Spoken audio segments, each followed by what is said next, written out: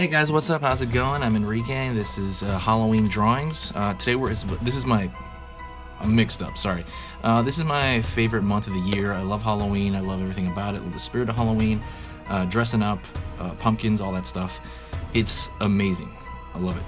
So uh, this channel is dedicated entirely Halloween drawings. If you guys do like learning to draw things from Halloween, whether they be realistic or whether they be more simplistic and cute, uh, this is going to be a cute one today, by the way. Uh, if you guys like all this that stuff, please hit that subscribe button and also that little bell icon because it will notify you when a video comes in. Although this month is going to be real easy. I'm posting a video every single day, sometimes twice a day. So check it out. So let's get started. Today we're drawing candied corn, candy corn, candied corn. Wow, candy corn, and uh, we're gonna be using this marker right here, and then a few colored pencils.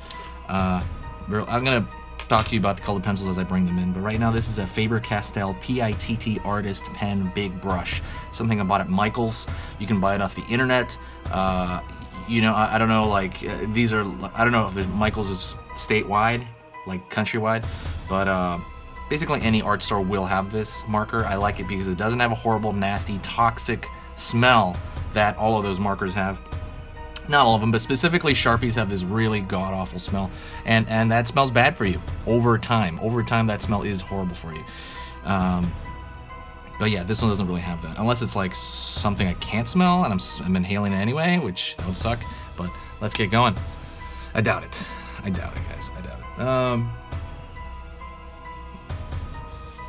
So we're drawing a cat, uh, uh, candy corn in a cat outfit, kind of like for Halloween. Cute stuff. Starting with that top crest.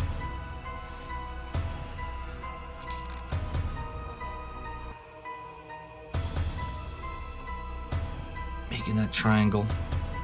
And that's gonna be the biggest stroke of the entire drawing. If you just do that decently, that's gonna that's gonna uh, be this is gonna support the rest of your drawing basically. So uh, kind of be aware of that.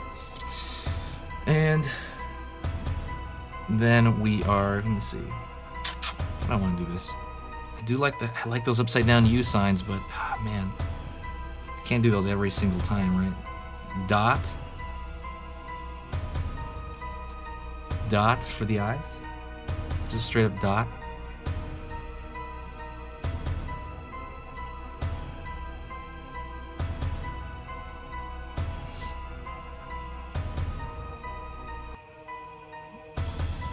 little, uh... I draw the, actually the little nose here, little cat nose.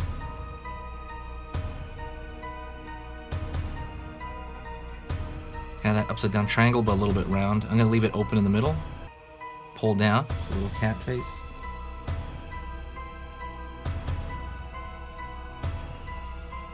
Smiley.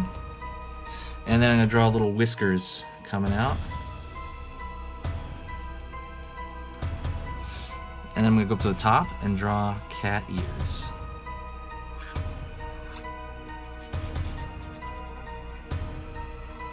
The cat ears are pretty simple. They're just kind of triangles on themselves, kind of rounded out on one edge. I usually pick one side and round it out on. And then I'm to draw the tail.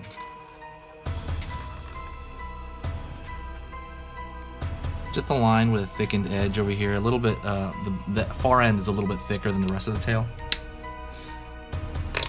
So now I'm to do is, uh, I, I, should wait for this to dry, but I, I don't really have time for that uh, with the video. I guess I could do a cut, but nah, let's just go right into it.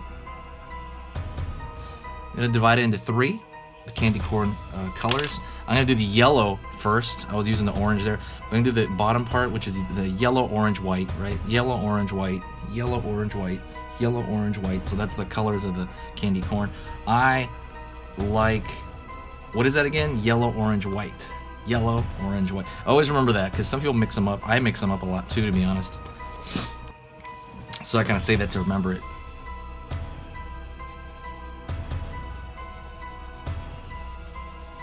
Yellow, orange, white. Okay. And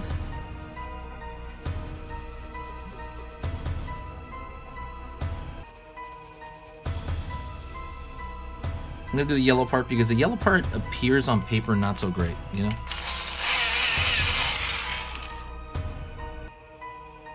Oh man, I broke the uh, lead here. I'm gonna try to use this with my finger. You know, use the piece of lead between my fingers and just kind of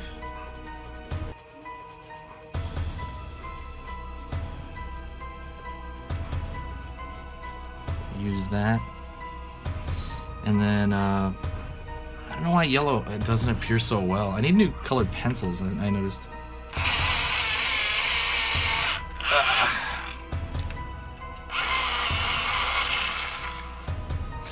Um, sharpening, by the way, the sharpening somebody said there's a chainsaw, but it's sharpening. Ooh. Alright, so let's go in here to the orange.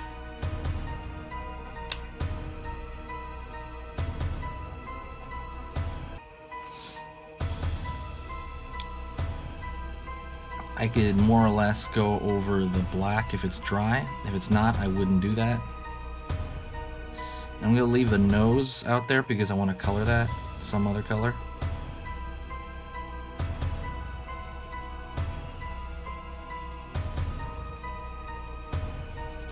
Ah, oh, snap. Same thing. Ah.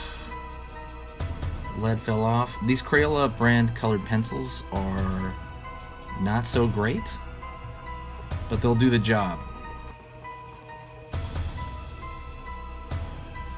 I need to sharpen my pencil again. I can't. Can't just use a lead on that.